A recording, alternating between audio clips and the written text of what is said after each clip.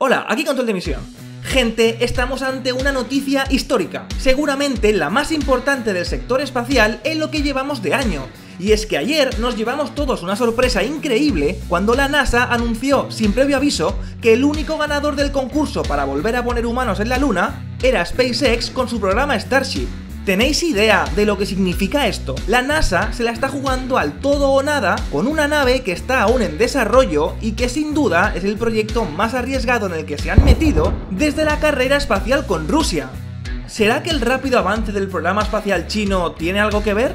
¿Por qué han elegido solo a SpaceX y no tendrán a ninguna otra compañía más en la recámara por si acaso? ¿Qué pasa con el SLS y la cápsula Orión? ¿Tienen sentido ahora? Quedaos y estad bien atentos porque este es uno de esos vídeos que de verdad da gusto hacer, porque sé que os va a encantar, así que aseguraos de estar suscritos al canal porque ahora os lo digo en serio, tenemos la suerte de estar vivos y presenciar lo que parece que va a ser la nueva era dorada en la exploración humana del espacio. 3, 2, 1, despegamos.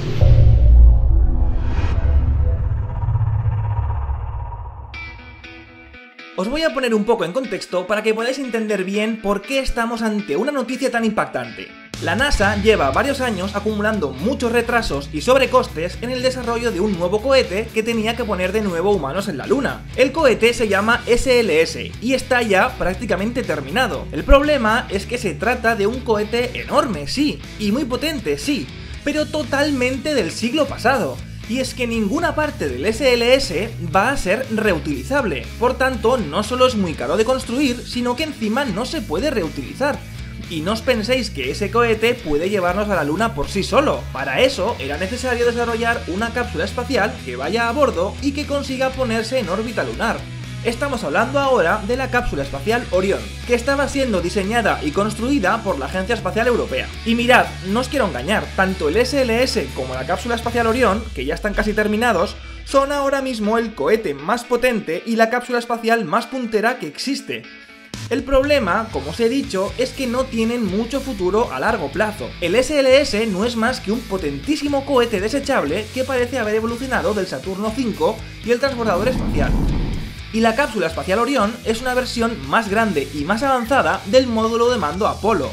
Pero es que cuando la Starship esté terminada, será una nave que podrá hacer todo lo que hace el SLS y la Orión, pero con un coste ridículamente inferior, con más capacidad y encima reutilizable. Entonces, ¿qué va a hacer ahora la NASA con este cohete y esta cápsula? Pues a ver, os cuento cuál es el plan. El programa Artemisa pretendía, en un principio, lanzar humanos en la cápsula Orión subida a bordo del SLS. El SLS llevaría la cápsula al espacio y a partir de ahí, la Orión se iría hacia la Luna. Pero, ¿cómo va a aterrizar en la Luna esa cápsula? Pues no puede. Aquí viene donde todo se complica un poco más. Había que construir una estación espacial que orbitara la Luna, la cual se iba a llamar Estación Lunar Gateway, y allí se enviaría combustible y víveres para que los astronautas que están a bordo de la cápsula Orión se acoplaran y se prepararan para bajar a la superficie lunar. Y aquí es donde la NASA decidió subcontratar a alguien que le desarrollara ese aterrizador para bajar desde la estación lunar hasta la superficie de la Luna. Las empresas seleccionadas para presentar sus proyectos fueron el National Team, liderado por Blue Origin, la empresa de Jeff Bezos, es decir, el dueño de Amazon, SpaceX y por último Dynetics. Todos presentaron sus proyectos y los responsables de la NASA tuvieron que analizar uno por uno para escoger a uno o varios ganadores. Y para sorpresa de todos, la NASA ha seleccionado únicamente a SpaceX para llevarse el contrato de 2.890 millones de dólares. Pero, ¿por qué confiar solo en SpaceX y no tener a nadie más detrás por si acaso?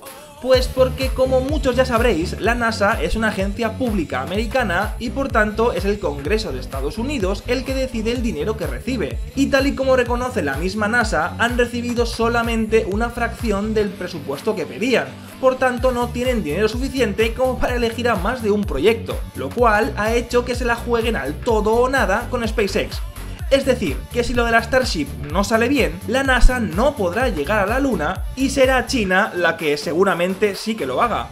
¿Os suena esto, no? Curiosamente, la NASA ya salvó a SpaceX de la quiebra en 2008 cuando les otorgó un contrato de 1.600 millones de dólares para desarrollar una nave, la Dragon, y abastecer a la Estación Espacial Internacional.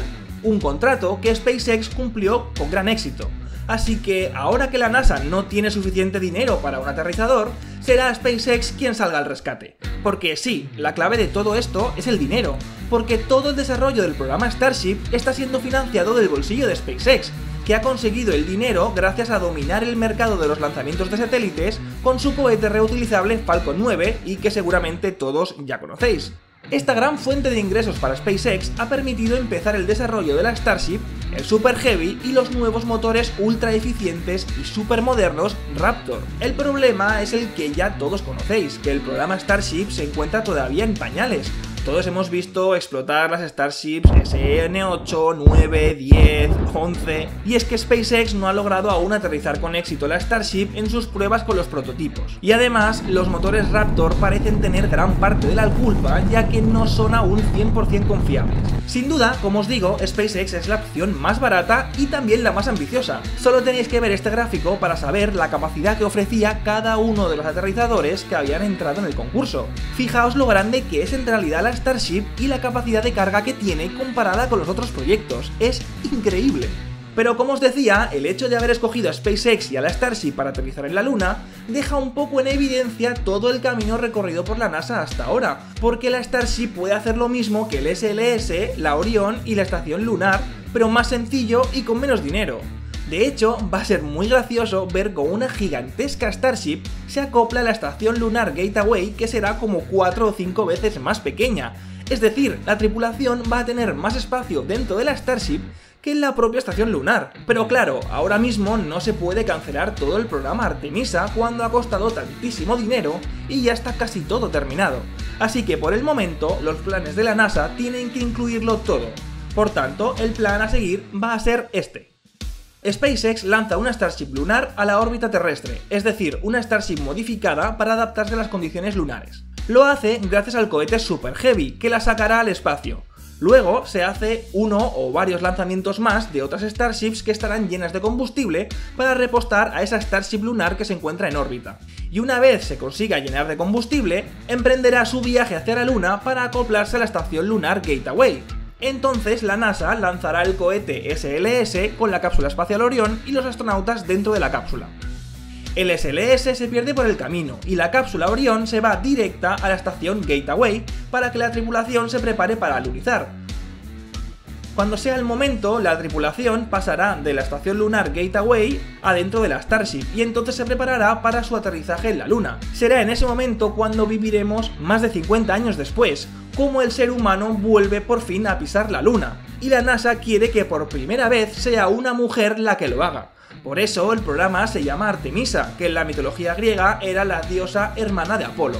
Se ha decidido también que a pesar de que la Starship tiene una gran capacidad de carga, tan solo irán dos personas a la superficie lunar en la primera misión, lo cual simplificará bastante esta misión. La segunda persona, por cierto, se ha decidido que sea una persona de color, intentando corregir así el hecho de que todas las personas que hasta ahora habían pisado la luna en los años 60 y 70 fueran hombres blancos. Como veis, se trata de una noticia histórica, porque no solo SpaceX consigue financiación externa para seguir desarrollando su programa Starship con más fuerza, sino que la Starship va a pasar a formar parte de la conciencia colectiva cuando veamos descender por ella a las personas que vuelvan a pisar la Luna.